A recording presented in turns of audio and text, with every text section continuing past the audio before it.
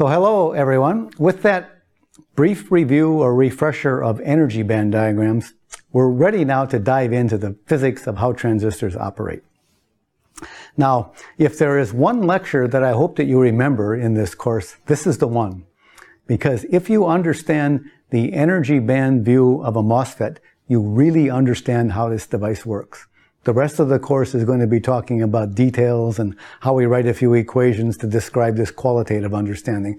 But if you understand the energy band view of a MOSFET, you understand how it works.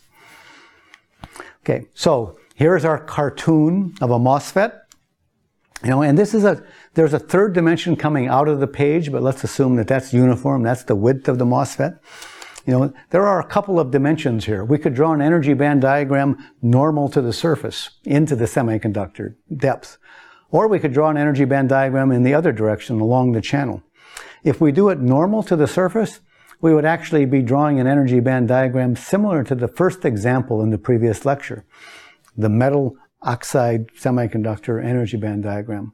We will talk quite a lot about energy band diagrams like this and about the uh, electrostatics of these MOS capacitors later. Okay.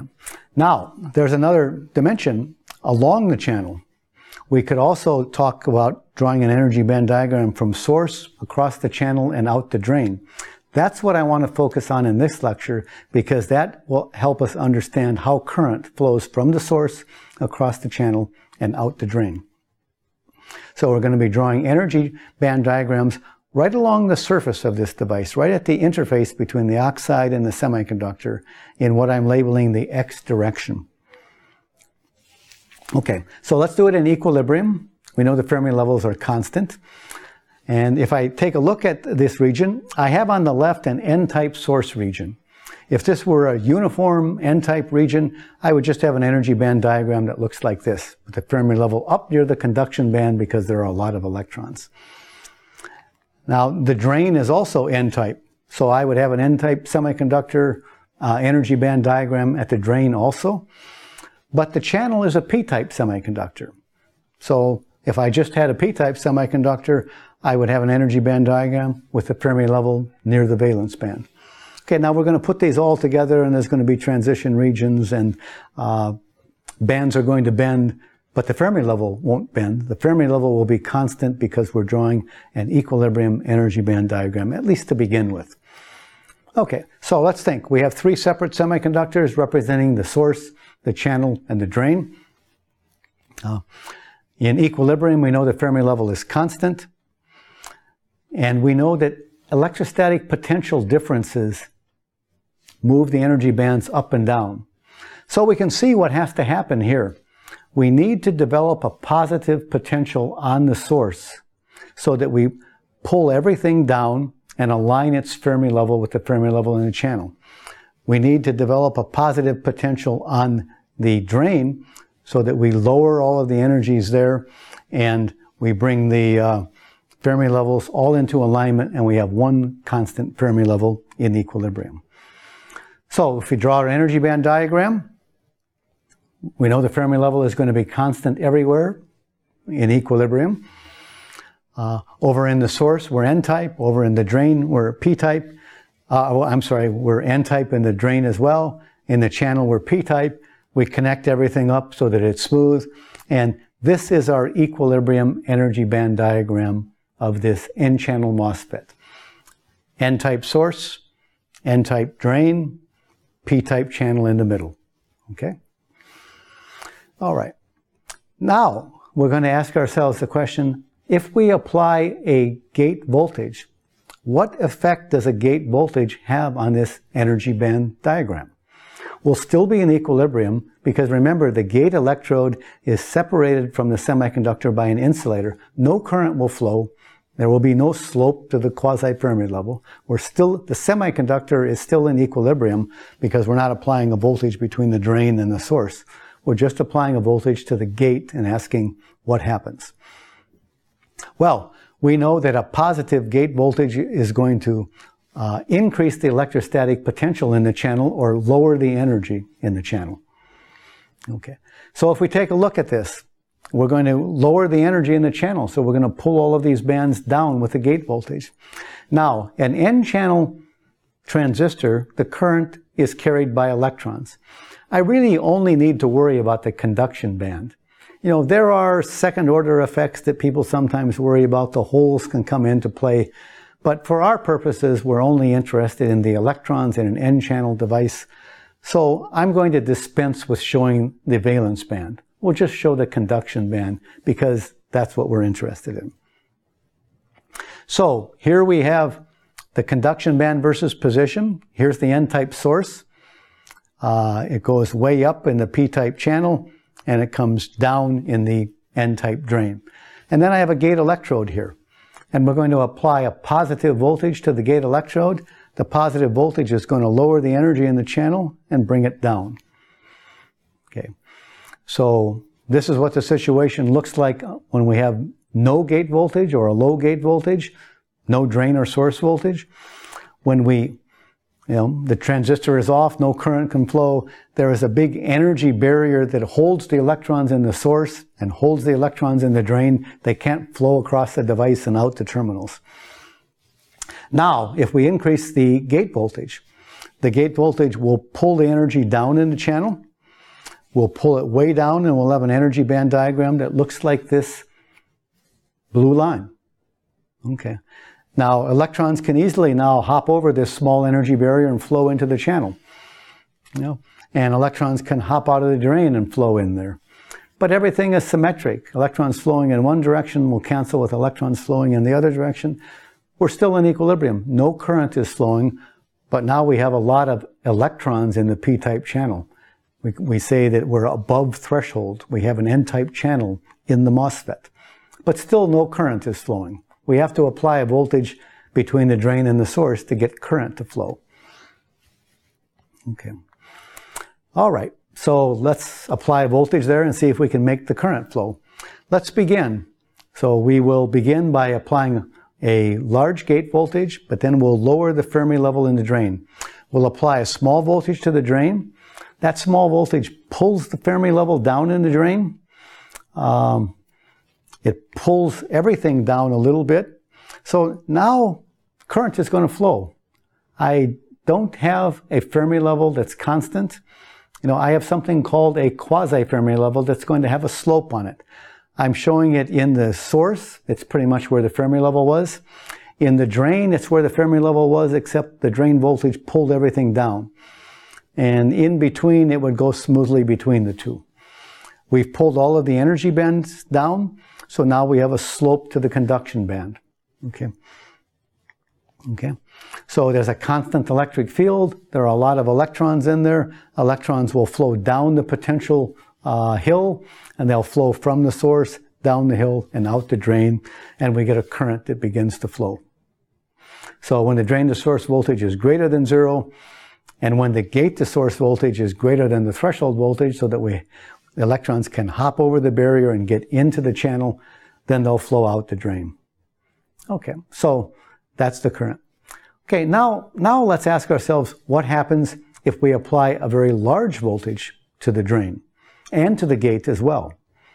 So if we apply a high gate voltage, that'll pull everything down. The energy in the, uh, the high gate voltage has pushed the energy in the channel way down so that we have a small barrier. Electrons can easily hop over it. If we apply a large voltage to the drain, we pull everything in the drain down. We pull the Fermi level, or now we would call it the quasi-Fermi level down along with the conduction and valence bands. And now we have a situation where electrons can easily hop over that barrier and just flow across the channel and out the drain and current flows. So we would call this the on state. We've applied the maximum voltage to the gate, pushed the barrier down as far as we can. We've applied the maximum voltage to the drain, pulled the drain energies way down. It's now easy for a lot of current to flow from the source to the drain. This would be the on state. Okay. So now let's remove the gate voltage and ask what would happen. If we remove the gate voltage, the energy is going to stay high. But if we keep the large um, um, drain voltage there, then we've pulled the energy down in the drain. So this is this would be a situation under which we would measure the off current. We've applied a large voltage to the drain, pulled the energy way down, but we've applied zero voltage to the gate, so there is still a large energy barrier which holds the electrons in the source and they're unable to flow out the drain. We only have a very small probability that a few of them can hop over this very large barrier and carry current out to the drain. That's the off current. And you can see why it is so small, because we have a large energy barrier that's preventing much current from flowing. Okay. So that's the basic understanding of how transistors operate. Transistors operate by manipulating potential energy barriers with the voltages on the terminals. In the linear regime, we apply a small voltage between the gate and the source. The energy in the drain is just a little bit less than the energy at the source. When we apply an increasing gate voltage and go up, we push the barrier down. The more we push the barrier down in the channel, the easier it is for electrons to hop over that barrier out of the source and flow across and out of the drain. And we get current in the linear regime this way. When we apply a large drain voltage, we're up in the saturation regime. You know, then we've lowered, we've lowered the potential energy greatly in the drain. The device is still off if we have zero gate voltage because there's a high energy barrier there. But as we push that energy barrier down by increasing the gate voltage, we lower the barrier. Electrons can hop over the barrier and out, flow across the channel and out the drain. That's how a MOSFET works. And you can easily understand the physics of how this device operates if you think about it in terms of energy band diagrams. You can also see why the current saturates. You know, if I pull this uh, energy down even more by increasing the drain voltage, that's not going to do much to the current because what's limiting the current is the probability that it hops over this bar little barrier at the source end. You know, if I make the drop further, it doesn't really matter. The current limiting step is hopping over this barrier at the source end, and that's why the current saturates. Now, we can also use this energy band view to understand what DIBL is and why we gave the name of this phenomenon, why we call it drain-induced barrier lowering. We can understand that by energy band diagrams. So here's our energy band diagram. Uh, the device is off. Uh, here's our energy band diagram. If we have a low gate voltage, but we apply a large drain voltage, we pull all of the energies in the drain down. But you can see that uh, there's going to be some tendency, you know, depending on how we've engineered the electrostatics, the potential at the drain is going to want to try to pull this barrier down a little bit. That's an, not a desirable feature. We are going to try to design these transistors in a way that the height of this barrier is predominantly controlled by the voltage on the gate, and the drain can't reach through and pull down that barrier very much. But it's bound to be able to reach through and pull it down a little bit. If it pulls it down a little bit, it's a little bit easier for the electron to hop over that barrier. And that drain-induced barrier lowering then makes it easier for electrons to hop over the barrier and get out, so I'll get a little more current. That's the phenomenon of uh, drain-induced barrier lowering. That's why the current increases a little bit in the subthreshold regime when you apply a large drain voltage. So I'll just point out, and, I, and we won't, we, I don't have much more to say about energy band diagrams, that these are really two-dimensional devices, or even three-dimensional devices. So we should really be drawing energy band diagrams um, in both the X and the Y positions at the same time. If you're interested in seeing what some of these energy band diagrams look like, you know, you can consult this reference here. But this is basically, you know, we are going to be talking about energy band diagrams in the normal direction to the channel when we're looking from the gate to the gate oxide into the depths of the, of the device and also along this surface here, along the surface from the source across the channel and out the drain. But in reality, these energy band diagrams are two-dimensional surfaces, and it's kind of fun to have a look at these and see if you can make sense of them and figure out uh, what they all mean. Okay, so MOSFETs are essentially what makes a MOSFET is that it is a barrier control device. We control the current by controlling the height of energy barriers with terminal voltages. That's what makes the device work. Now, there are some considerations here that we have to worry about as channels get shorter and shorter. We know that electrons are quantum mechanical particles. A quantum mechanical particle doesn't have to hop over a barrier, it can tunnel through a barrier. So here are some simulations done by a colleague of mine, Mathieu Luisier, showing these are numerical simulations which treat electrons as waves. Here's the conduction band versus uh, position for a MOSFET with a channel length of 13 nanometers. And the color here indicates the magnitude of the current. So it tells us at which energies is the current flowing. And you can see in this case that the current that flows all flows over the top of the barrier.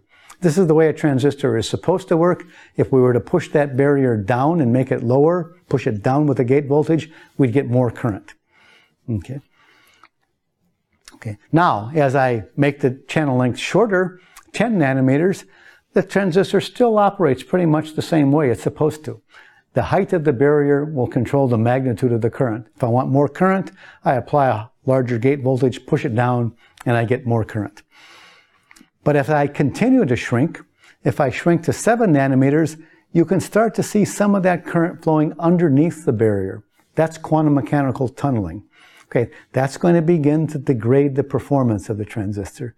I'm going to begin to see that in the subthreshold swing. It'll degrade the subthreshold swing. If I go too far, say to a 4 nanometer channel, then you can see that the electrons don't even know that there's a barrier there. They're just tunneling completely through the barrier. It appears to be transparent to them. We can't make a good transistor if there's no barrier to current flow for, for the electrons. So this device would be too small to make a good transistor. So this quantum mechanical tunneling sort of sets some fundamental limits to how short we can make the channel length of a MOSFET because it has to operate as a barrier controlled device. All right, so let's summarize. Everything we need to know about the essence of a MOSFET is contained in energy band diagrams. They provide a qualitative understanding of how a MOSFET works. They're barrier controlled devices. The drain current is controlled by a height of an energy barrier between the source and the channel. In a well-designed transistor, the height of that energy barrier is controlled by the gate voltage very strongly and very weakly by the drain voltage. We have a device then that has very low DIBL when the drain voltage has a small effect on the height of that energy barrier. And that's what we want to see. All right, so what's next? So what's next is where in most textbooks you would see people start. We're going to write a few simple equations to describe the IV characteristics of the uh, MOSFET. But now that we understand how the MOSFET works in terms of energy band diagrams, we'll really have a deeper understanding of what those equations mean. So I'll see you in the next lecture and we'll continue this discussion.